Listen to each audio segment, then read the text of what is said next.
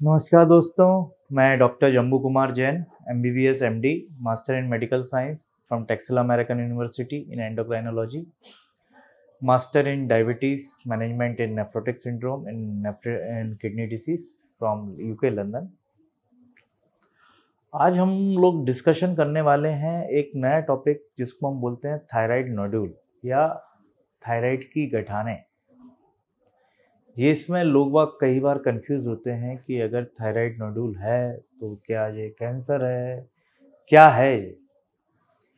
Thyroid नोडूल्स पहले हम ये समझने की कोशिश करें कि हमारे गले के इस हिस्से पे एक तितली शेप का ग्लैंड होता है, उसको हम थायराइड बोलते हैं। उसमें गठाने पड़ जाएँ तो वो थायराइड नोडूल कहलाता है। बेसिकली थायराइड नोडूल दो प्रकार के होते हैं, एक मोबाइल होता है, एक इमोबाइल होता है। मतलब एक फिक्स रहता है, अपनी जगह फिक्स रहेगा और एक हिलने वाला रहेगा। एक आपको राहत वाली बात इस पर मैं बताता हूँ कि निन्यानवे परसेंट केसेस में या अंठानवे परसेंट केसेस में ये नॉन कैंसरस रहते हैं। कैंसर का इसमें ऐसा कुछ बहुत विशेष रूप नहीं रहता है। एक परसेंट केस में हम गारंटी नहीं देते, कहीं कुछ निकल आए तो। बेसिकली थायराइड नोड्यूल एसिम्टोमेटिक रहते हैं। एसिम्टोमेटिक का मतलब ये है कि पता ही नहीं चलता कि थायराइड में गठान हो गई है या नोड्यूल हो गया है और पड़ा रहता है। हमको तकलीफ़ नहीं होती अनटिल और अनलेस जब तक उसका साइज़ नहीं बढ़ता। अब सीधी सी बात है, गले में अगर किसी गठान का साइज़ बढ़ेगा तो वो आपको तकलीफ़ देगा। तकलीफ़ कैसी होगी? खाना निगलने में तकलीफ़ होने लगती है, सांस लेने में तकलीफ़ होने लगती है। बोलने में आपकी आवाज़ भारी हो जाती है हॉर्सनेस ऑफ़ द वॉइस ये कुछ सिम्टम्स हैं थायराइड नोडुल्स के। जनरली ये एसिम्टोमेटिक रहता है। जब आप कांच में देखते हो, गला दिखता है, तब आप में, आपको ऐसा लगता है कि हाँ यार, मेरे गले में गटान हो गई है। एक इसका बहुत बड़ा कारण ये रहता है कि किसी वायरल इन्फेक्शन के कारण या थायराइड के अंदर कुछ बदलाव आने के कारण थायराइड में ज़्यादा प्रोडक्शन होने लगता है।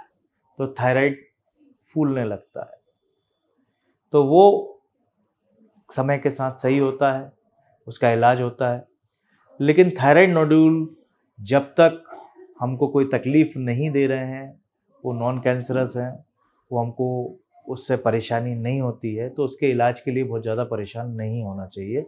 और जो भी आपका एंडोक्राइनोलॉजिस्ट है, वो आपकी थायराइड प्रोफ़ाइल, आपकी सोनोग्राफी और जो भी ज़रूरी जांचें हैं, वो करवाएगा। उन जांचों से आपकी सारी चीज़ें सामने आ जाएँगी। तो थायराइड नोडुल के लिए घबराना नहीं है मित्रों। थायराइड नोडुल थायराइड की गठाने होती हैं। इससे संभवतः ज़्यादा से ज़्यादा क्या होता है कि भाई आपको, आपकी आवाज़ में भारीपन आ जाएगा हॉर्सनेस जिसको बोलते हैं। सांस लेने में तकलीफ़ हो, खाना निकलने में तकलीफ़ होती है। कॉस्मेटिकली महिलाओं के लिए दिक्कत है। वो भी बड़े, गले में बड़ी सी गठान दिखेगी, कौन खूबसूरत दिखेगा। तो अगर ऐसा कुछ होता है तो इसका सर्जिकल भी इंटरवेंशन होता है और मेडिकली भी इंटरवेंशन होता है। धन्यवाद। अगर आपको ये वीडियो पसंद आया हो तो इसको लाइक कीजिएगा। अपॉइंटमेंट के लिए मेरे नंबर पर कॉल कीजिए।